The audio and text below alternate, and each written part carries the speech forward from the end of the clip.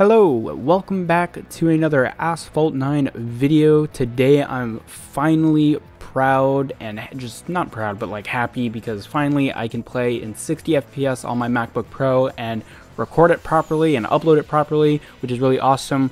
With the Lamborghini season update, they finally fixed that controller input delay issue when you have 60 FPS enabled, so now there's no issues regarding that. There is one issue, however, on Mac, which is screen recordings with audio don't actually record the Asphalt 9 audio, which is really weird. Um, there's a couple workarounds to get internal audio recording on Macs.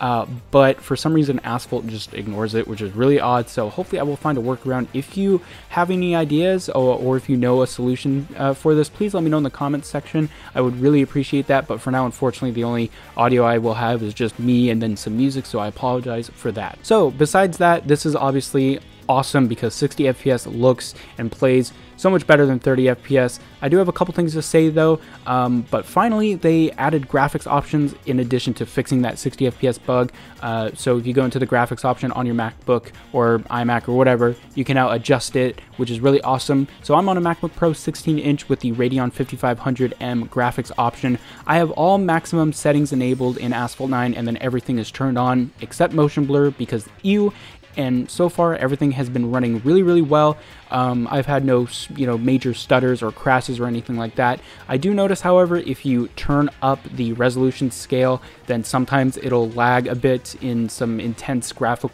areas you know such as a bunch of smoke or a bunch of particles flying around but besides that and if your resolution scale is at just about 100% you will be fine and uh, it looks really well and there's not a lot of stutters which is really really awesome. Another thing I wanted to mention is in regards to my display. So the MacBook Pro display is a 16 by 10 aspect ratio. So what that means is when I upload in 16 by 9, so like 1920 by 1080p, uh, there will be black bars on the side. So the footage you're seeing is stretched, so I get rid of those black bars because I don't really think a lot of people want to watch videos with black bars on the sides. Um, so if the stretched resolution thing bothers you, please let me know. I'm trying to find a good solution to this problem, but for now I just stretch it out so uh, I can get rid of those black bars.